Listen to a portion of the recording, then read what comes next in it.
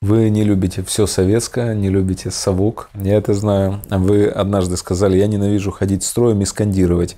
Ну еще ваша цитата. Хочу, чтобы на моей могиле написали «Он добил СССР».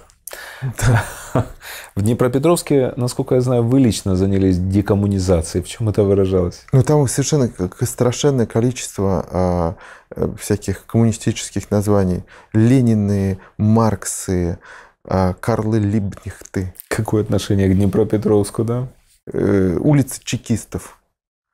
А на улице чекистов несколько домов стоят, которым невозможно проехать.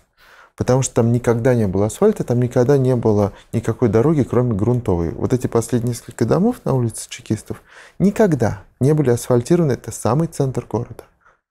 Никогда не были асфальтированы. Там чудовищная разруха и гордая надпись улицы чекистов. Это вот прям, это символизирует. И а, когда мы попытались а, оторвать эту табличку, мы сначала ее просили просто купить, сказать, давайте мы купим ее, давайте мы ее потом назад повесим. А, вот, на нас напал человек с секатором. Он защищал свое имя чекистов.